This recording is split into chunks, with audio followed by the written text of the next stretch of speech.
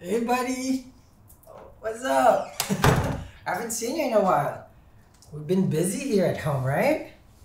Ah, so tired. Just came from the gym.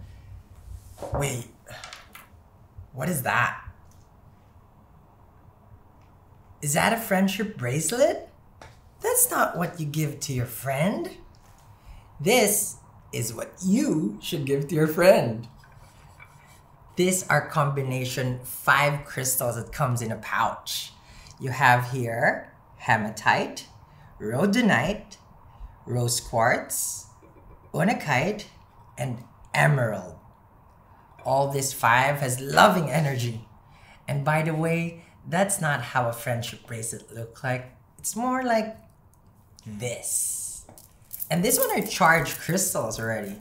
So you can really just use it with your friend or just for yourself at the same time. I'm gonna leave this here and I let you reconsider. Okay?